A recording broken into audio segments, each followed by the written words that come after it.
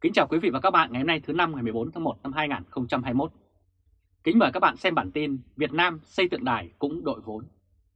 Sau khi hoàn thành tượng đài Trang Long 67 tỷ, tỉnh Đắk Nông sẽ tiếp tục làm đường và sân xung quanh công trình với mức chi phí phát sinh thêm khoảng 90 tỷ đồng nữa. Đưa tượng đài Trang Long vào phong trào đấu tranh giải phóng dân tộc 1972-1936 trở thành công trình tượng đài có giá trị lớn nhất tỉnh nghèo Tây Nguyên này là hơn 167 tỷ đồng. Vào ngày 26 tháng 12 năm 2020, tỉnh Đắk Nông đã hoàn thành công trình tượng đài Trang Long giai đoạn 1. Đây là hình ảnh tượng đài Trang Long được tỉnh Đắk Nông xây dựng với tổng kinh phí lên tới hơn 167 tỷ đồng và tỉnh này thuộc diện tỉnh rất nghèo. Truyền thông trong nước đưa tin tượng đài anh hùng Trang Long cao gần 20 mét đặt tại thành phố Gia Nghĩa, Đắk Nông theo lãnh đạo Ban Quản lý Dự án Giao thông, Dân dụng, Công nghiệp tỉnh, tức là chủ đầu tư dự án, công trình đã hoàn tất dựng tượng và các bức tượng phủ điêu, nghiệm thu mỹ thuật. Toàn bộ tượng đài được chế tác bằng đá xanh, trong đó phần tượng chính cao 13m và phủ điêu cao 5,5m, rộng 27m. Tượng được đặt trên đỉnh đồi Đắc Nu, cách trung tâm thành phố Gia Nghĩa khoảng 2 km. Phần tượng chính thể hiện anh hùng Trong Long người đã lãnh đạo người Hơ Mông khởi nghĩa chống thực dân Pháp đô hộ vào những năm 1912-1936. Phần phù điêu dưới chân thể hiện bức tranh sinh động hàng ngày và cuộc chiến chống lại kẻ thù xâm lược của các dân tộc Tây Nguyên. Công trình khởi công từ năm 2015 với tổng kinh phí lên tới 167 tỷ đồng, đóng góp từ nhân dân, doanh nghiệp, ngân sách địa phương và trung ương trong đó, ngân sách tỉnh Đắk Nông bố trí 12,8 tỷ đồng, còn lại là huy động từ các nguồn xã hội hóa.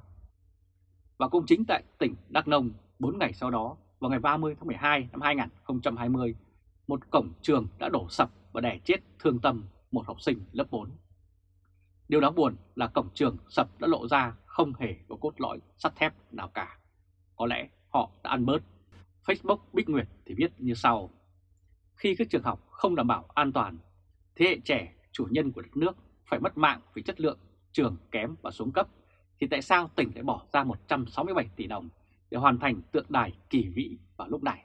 Đây là hình ảnh cổng tường đổ sập đè chết học sinh lớp 4 tại xã Đắc Dinh, huyện Đắc Lấp, Đắc Nông hôm 30 tháng 12 năm 2020. Trụ cổng trường xây bằng gạch không hề có cốt thép.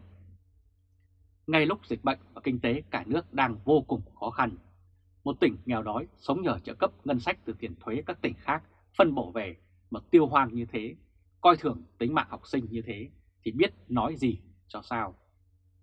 Sự việc khiến dư luận nhớ đến những câu thơ trong bài thơ Đất nước mình ngộ quá phải không anh của cô giáo miền Trung Trần Thị Lam. Cô đã viết như sau.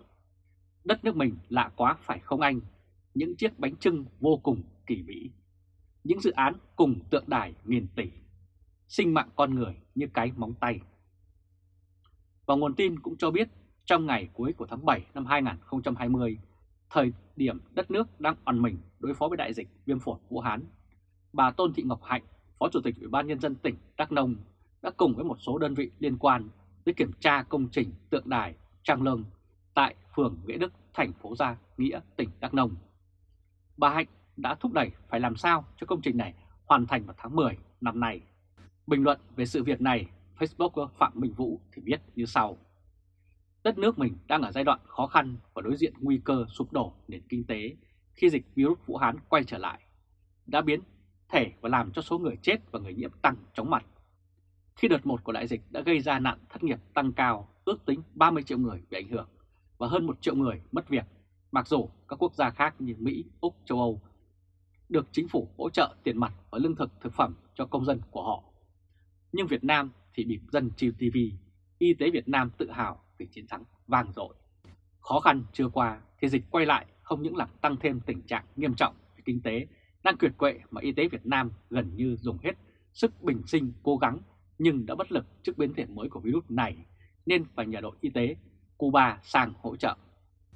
Dịch bệnh đang nghiêm trọng như thế, đang nguy hiểm trăm bể như thế, các quan chức lại đua nhau xây tượng đài vừa tốn kém tiền bạc mà lại tốn một khoản không đất rất lớn.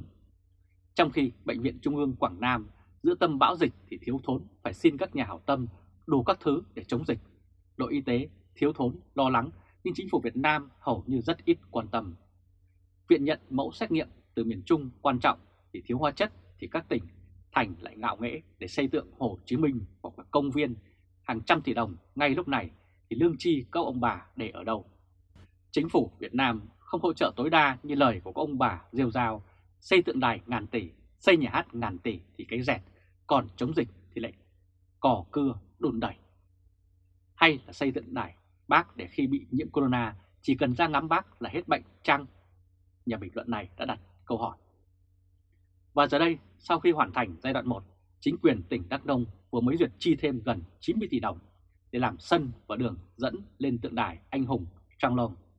Đây là hình ảnh lại một bức tượng lớn đá cá chép hóa rồng ở thị trấn Đắc Mi, Đắk Nông. Điều đáng nói là theo con số thống kê từ Cổng Thông tin Chính phủ Đắk Nông, vào năm 2015, tổng thu ngân sách nhà nước của tỉnh Đắk Nông chỉ hơn 1.500 tỷ đồng. Đến năm 2019, tổng thu ngân sách nhà nước của tỉnh này tăng lên được 2.600 tỷ đồng. Vẫn còn trong nhóm 10 tỉnh có số thu nhập ngân sách thấp nhất cả nước. Vào tháng 4 năm 2020, Thủ tướng Chính phủ Nguyễn Xuân Phúc đã ký quyết định số 514 về việc xuất cấp gạo từ nguồn dự trữ quốc gia để hỗ trợ tỉnh Đắk Nông và Đắk Lắk để cứu đói cho nhân dân trong thời gian giáp hạt đầu năm 2020. Theo đó, tỉnh Đắk Nông được hỗ trợ 326,3 tấn gạo. Tuy nhiên, nghèo nhưng thu ngân sách đội sổ, nhưng lãnh đạo tỉnh này vẫn quyết định chi cả trăm tỷ đồng cho việc xây dựng tượng đài. Đặc biệt là Đắk Nông thời gian gần đây không chỉ có mình tượng đài anh hùng Trang Lông, Đắk Nông cũng vừa hoàn thành tượng đài cá chép hóa rồng phun nước nặng 21 tấn tại thị trấn Đắk Mì, huyện Đắk Mì. Công trình làm bằng đá cẩm thạch trắng với chi phí xây dựng lên tới hơn 11 tỷ đồng. Trước đó, công trình di tích lịch sử Nam Nung tại xã Nam Nung, huyện Krông được xây dựng với gần 30 tỷ đồng. Xây xong thì bỏ hoang, không ai chăm sóc. Dự án xây dựng tượng đài ở tỉnh Đắk Nông chỉ là một trong rất nhiều là công trình tượng đài bị lên án tại Việt Nam bởi hiện tượng phổ biến ở Việt Nam là xây những tượng đài hàng chục tỷ, cuối cùng là quá khả năng ngân sách và cũng để bỏ hoang. Bản thân công trình tượng đài, Trang Long và phong trào đấu tranh giải phóng dân tộc từ năm 1912 đến 1936, nếu tính con số kinh phí cho dự án ngay từ ban đầu là từ 50 đến 60 tỷ đồng, thì dự án đã đội vốn lên tới hơn 100 tỷ đồng. Câu hỏi đặt ra là vì sao các địa phương đua nhau xây tượng đài mà không phải là đầu tư vào hạ tầng cơ sở, đầu tư vào nhà thương, trường học hay xoa đói giảm nghèo.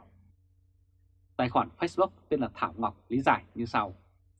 Nếu các công trình khác như đường xá, cầu cống hay nhà cửa mà rút ruột nhiều quá thì sau khi đưa vào sử dụng sẽ bị xuống cấp và lòi giá ngày. Như cao tốc Đà Nẵng – Quảng Ngãi 34,5 ngàn tỷ, vừa làm xong đã bị hỏng do trời mưa. Đã có hàng chục tỷ đồng, một chục đã có hàng chục đồng chí bị ký kỷ luật. Còn tượng đài thì vô thưởng vô phạt, dù là ai thì cũng chỉ là cục bê tông không biết nói, vì vậy tha hồ rút ruột chia nhau. Công trình càng lớn thì các quan ăn càng nhiều. Facebook này cũng nhận định qua việc người ta đua nhau xây tượng đài cho thấy các nhân vật lịch sử, đặc biệt là hình ảnh ông Hồ Chí Minh, đã bị lợi dụng tối đa. Họ thường coi hình tượng Hồ Chí Minh như miếng thịt lợn, đem lật đi lật lại, đem chiên để thi nhau chấm mút. Đây là hình ảnh mô hình dự án tượng đài Hồ Chí Minh với giá trị lên tới 1.400 tỷ đồng ở tỉnh nghèo Sơn La. Cũng may là ông Hồ đã chết rồi, nên ông không biết độ nóng của dư luận phản đối bọn lợi dụng ông như thế nào. Nếu ông còn sống, chắc ông có thể nói thẳng với ba đời nhà nó, đưa ông ra làm tấm bình phong che chắn cho chúng tham ô tiền thuế của dân. Và nếu Tố Hữu còn sống, không biết ông sẽ nghĩ gì về thế hệ đàn em bây giờ đang ra sức làm cái điều mà trước đây ông mạt sát, mắng chửi và cho là nhảm nhí, sằng bậy không nhỉ. Tố Hữu từng lên án Mao Trạch Đông cho xây tượng đồng chí phơi những lối mòn. Còn bây giờ tượng đài không phơi ở những lối mòn như bên Trung Quốc mà nằm trình hình trên những khu đất rộng hàng mấy chục hecta. Vì vậy dù dân Sơn La, Đắk Nông và những nơi dân khác không chết đói tức thì như lời Mao, thời Mao mà còn chết là chết từ từ. Nhưng trước khi nhắm mắt xuôi tay thì họ cũng đã được an ủi bằng cách đi ngắm tượng đài cho đỡ đói. Cái tượng đài đẹp nhất, vĩnh cửu nhất không phải là những khối bê tông cao mấy chục mét trên diện tích đất hàng chục hecta, mà là tượng đài ở trong lòng người dân. Vì thương dân, dân lập bàn thờ, hại dân, dân đái sập mổ, thối xương. Nhà hoạt động Lã Việt Dũng khi trả lời đài FA tại Mỹ cũng đã bình luận như sau. Đây là cơ hội để họ có thể tham nhũng, họ có thể xa xẻo tiền rất nhiều địa phương, nhiều nơi thích xây quảng trường. Vì rõ ràng việc xây quảng trường mình nghĩ họ sẽ ăn được nhiều tiền từ đấy vì rất khó nghiệm thu đánh giá giá trị công trình, tiền chi ra chui vào thế nào, rất trừu tượng. Nguyên Bộ trưởng Bộ Thương mại Lê Văn Chiết giải thích về việc những hiện tượng tượng đài nghìn tỷ liên tiếp mọc lên ở Việt Nam như sau. Những người muốn xây, họ là muốn lấy le. Tôi có tượng đài nọ để xưng hô với các địa phương khác, nhất là những người muốn có thế để nhảy vào cuộc tham gia vào các đại hội, các cấp đại hội toàn quốc. Họ bất chấp tiền nong đó, họ cố bỏ rút để làm, chứ đâu phải họ tự bỏ tiền ra làm. Cũng cần phải nói thêm là kể từ thời điểm ngày 25 tháng 7 năm 2012, lãnh đạo Trung ương và các địa phương tỉnh Đắk Nông đặt đá xây tượng đài anh hùng Trang Long và các dân tộc Tây Nguyên dự kiến hoàn thành vào năm 2014 với kinh phí xây dựng vào khoảng 50-60 tỷ đồng. Công trình này liên tiếp có những sai phạm. Đây là hình ảnh tải trọng móng bằng nửa trọng lượng của tượng đài Trang Long. Công trình này nổi tiếng trong dư luận trong những năm 2017 khi tượng một đằng, móng một nẻo. Trong quá trình xây dựng công trình này có rất nhiều sai sót trong thiết kế thi công. Phần móng chịu lực thiết kế ban đầu chỉ hơn 1.100 tấn, nhưng phần tượng đài và phủ điêu lại lên tới 2.052 tấn. Tỉnh Đắk Nông đã phải bỏ phần móng ban đầu và bổ sung gần 1,8 tỷ đồng để làm lại móng mới. Kết luận thanh tra sau đó chỉ ra nhiều sai phạm trong công tác đánh giá hồ sơ dự thầu và quản lý dự án, quản lý chất lượng thi công công trình. Một câu chuyện khác cũng khiến công trình cũng trở nên nổi tiếng, đó là chính quyền tỉnh đã huy động tiền lương của các cán bộ nhân viên để làm tượng đài Báo chí trong nước cũng loan tin công trình tượng đài Trong Long và phong trào đấu tranh giải phóng dân tộc 1936 được khởi công vào tháng 5 năm 2015, đặt tại đồi Đắc Nu, phường Nghĩa Đức, thị xã Gia Nghĩa, diện tích 5,9 hecta. Tổng vốn đầu tư là 146 tỷ đồng, trong đó một phần nhỏ từ ngân sách, còn nguồn chính từ phần quyên góp xã hội hóa. Do hiệu quả huy động quyên góp từ khối doanh nghiệp đến nay còn hạn chế, vì các doanh nghiệp cũng đang rơi vào hoàn cảnh khó khăn nên tỉnh đang quyên góp thêm từ tiền lương của cán bộ công nhân viên để xây dựng tượng đài. Mức độ quyên góp tùy từng giai đoạn, nhưng tỉnh cố gắng hoàn thành vào năm 2018. Dư luận gọi đây là một ý tưởng dã man, ngu xuẩn hay điên rồ, bởi mà khi các doanh nghiệp đang gặp khó khăn thì liệu lương của công nhân viên chức có đủ sống hay không mà đòi quyên góp. Điều đáng buồn là câu chuyện về tượng đài ở tỉnh nghèo Tây Nguyên, Đắk Nông chỉ là một diễn biến thường thấy ở hầu hết các địa phương trên đất nước Việt Nam ngày nay. Quý vị và các bạn vừa theo dõi chương trình truyền hình trực tiếp của Lê Trung Khoa, Thời báo chấm ngày hôm nay thứ năm ngày 14 tháng 1 năm 2021 với bản tin Việt Nam xây tượng đài cũng đội vốn. Quý vị và các bạn hãy chia sẻ video này cho nhiều người biết và bấm theo dõi YouTube và Facebook của Thời báo chấm để luôn được cập nhật những bản tin mới nhất, nhanh nhất và trung thực nhất. Từ Berlin, Cộng hòa Liên bang Đức, chào các bạn và hẹn gặp lại các bạn vào bản tin lần tới. Trung Khoa, Thời báo chấm